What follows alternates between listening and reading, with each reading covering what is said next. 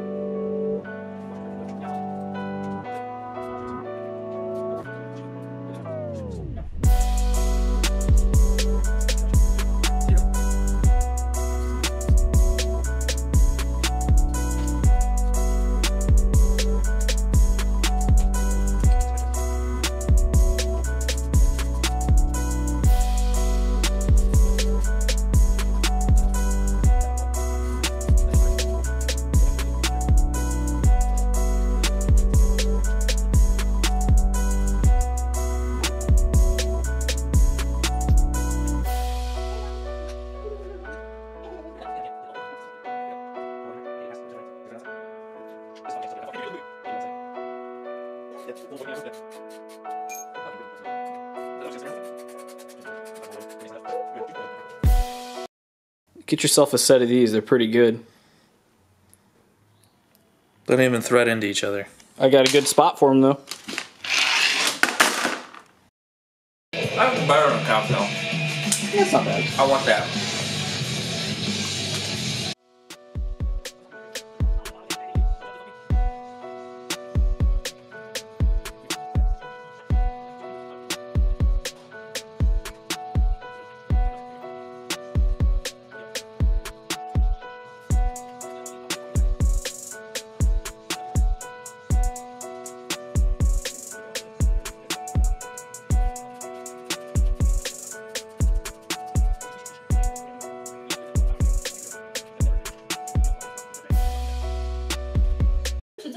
I'll play it. God damn it. Shut up! I got the bike. It's fine. Dude, you suck. this is so bad.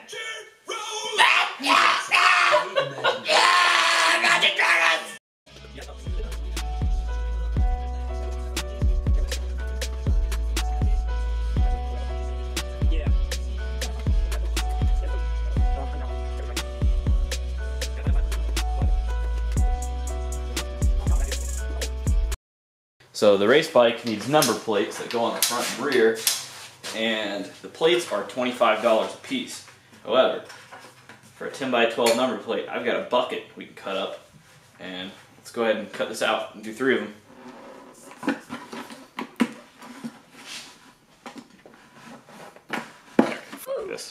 With the bike back together and running properly, the only thing left to do is to prep for race day. The easiest way to do this was to turn the camera off and knock everything out with the rulebook in hand the weekend before we left. I'll go over the bike, but none of the race prep was filmed. It mainly consisted of number plates, safety wiring, and fabbing a catch can.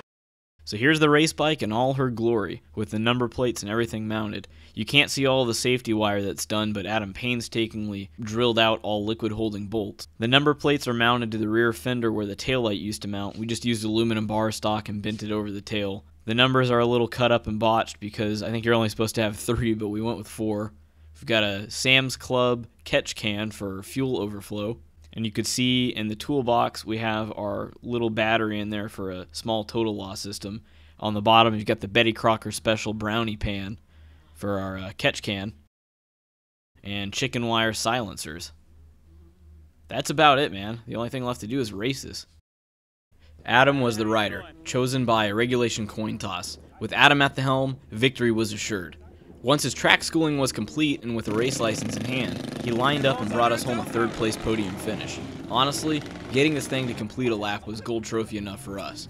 We will address the litany of issues in another video before this bike's next track day.